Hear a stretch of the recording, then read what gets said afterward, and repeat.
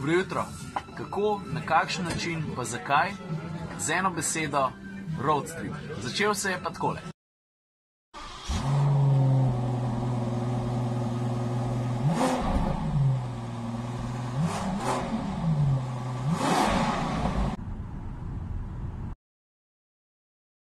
To je moje drugo malo resno srečanje z Insignijo. Bil sem na prvi vožnji že v Nemčiji, kjer sem jo razmeroma dobro spoznal, zdaj pa se bo družila daljši čas.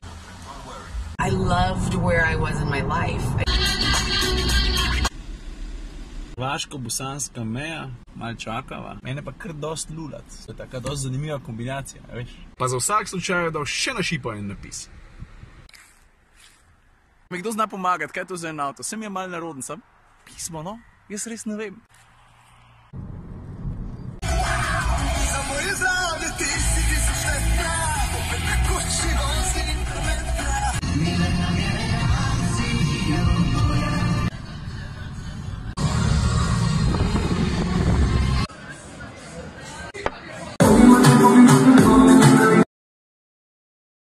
Ja, naš drug dan smo si izbrali pa par lokacij, par ciljev, zgodil se je pa tole.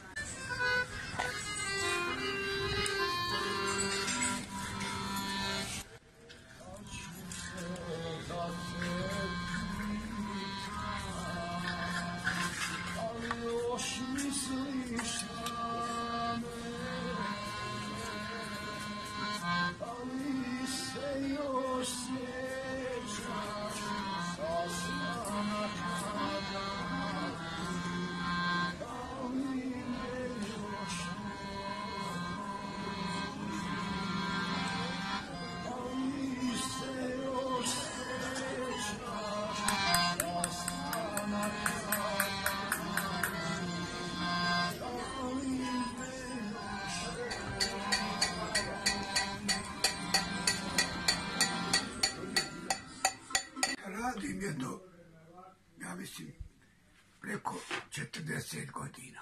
Ja sam to naslijedio od oca. Mene otac bio moj, bio kazanđija, pa sam ja to naslijedio. Mislim da je težak rad zato što je dva put na isto mjesto ne smete udariti. E to je to. Tako, zdaj smo pa redi. Ta prva lokacija, na katero greva, je Igman, kjer so bile olimpijske skakalnice za smučarske skoke, drug del dneva pa Bob Steza. To je vse, kar bom za zdaj povedal.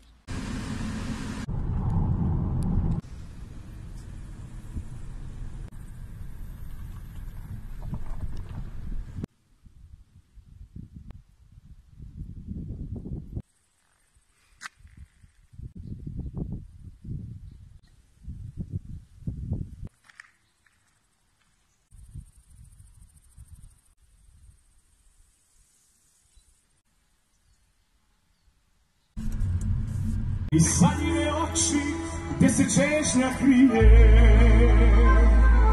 Što vas šeitan ne naruje? Jaz ne vem, koliko se sliši, ampak jaz sem na tej stopnički stal, ko sem bil star 9 let, zdaj pa spet.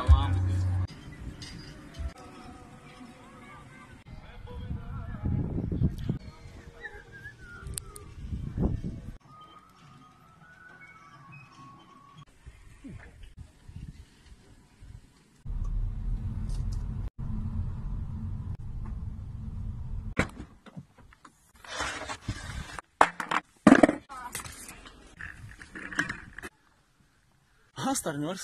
Veš? Ja.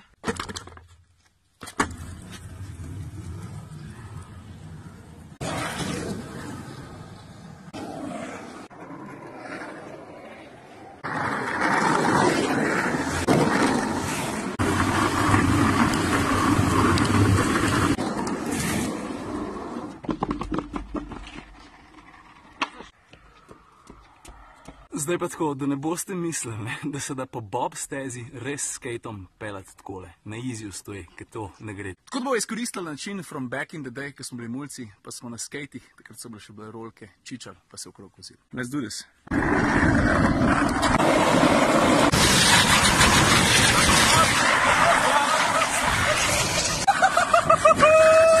pa realno gledano na nogicah ali pa na ritki, nič od tega ni najbolj pameten. Pa malo navaren je tudi. Je pa res, da si bomo vse skupaj zapomnili do konca življenja.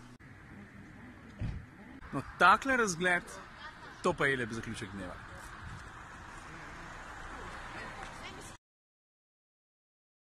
Kje imaš telefon? Ah, izgubim roke.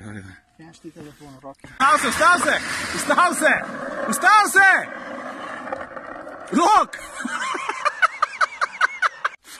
Mislim, da se, mislim, da se ni mogel ustaviti.